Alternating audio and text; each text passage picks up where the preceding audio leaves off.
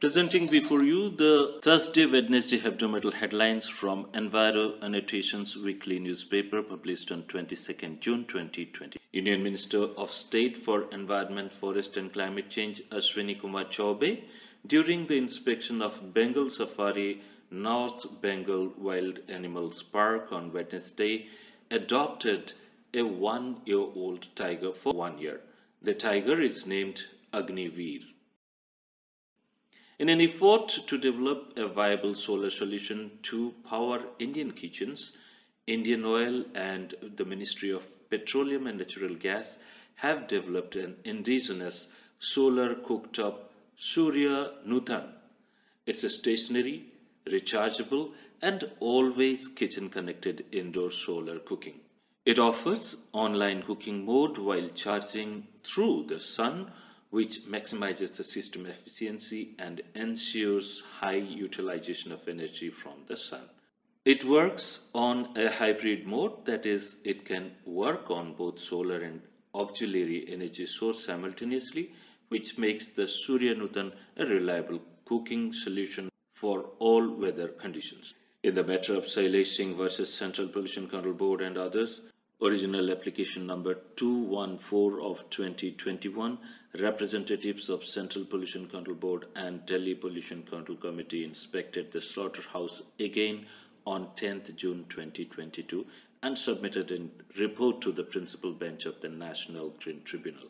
As per the report, the unit has a conventional effluent treatment plant consisting of primary, secondary and tertiary treatment units. No effluent was coming to the ETP during inspection as the plant was closed by the DPCC in compliance with the NGT order. However, the MLSS level in two aeration tanks was observed to be adequate. Nevertheless, the report also includes a laboratory test report issued by the Delhi Pollution Control Committee's water laboratory. Surprisingly, with the conventional ETP, the biochemical oxygen demand or BOD was reportedly reduced by about 97% and chemical oxygen demand or COD by about 95% while the total suspended solids have gone down by more than 98%. The DPCC water laboratory report is seriously doubtful, seems utterly influenced and needs a review. Editorial Climate, Water and Amrit Sarovars deliberates on heat waves in India news and its shifting towards Europe. At this pressing time, when many countries of the world, including India, are facing acute water crisis, Prime Minister Narendra Modi's call for construction of 75 Amrit Sarovars in each district of the country would prove remarkable. The total number of ponds shall be about 50,000. The government has set an objective of each Amrit Sarovar with a pondage area of minimum 1 acre and with, an, with a water holding capacity of about 10,000 cubic meter. The program also involves commemorative plantation of trees. The Forest Advisory Committee in its 13th June 2022 meeting recommended proposals of southeastern coal fields, Chal open cast coal mining project and construction of standalone pumped storage component of Saundatti Integrated Renewable Energy Project by Greenko Solar Energy Private Limited in Belagavi district of Karnataka. The committee finds ambiguity in the proposal of Mahanadi Coalfields Limited for non-forestry use of 41.073 hectare and rediversion of 171.774 hectare forest land in respect of integrated Lakhanpur Belpahar Lilari open cast project of Lakhanpur area in district Jharsuguda, Odisha. The committee rejected Northern Coalfield Limited proposal pertaining to the diversion of forest land in Singrauli Forest Division of Madhya Pradesh, which involves about 2 lakh 10,164 tree felling Three projects were deferred by the committee. There is an industry Q&A pertaining to boiler emissions, standalone sewage treatment plants and battery wastes.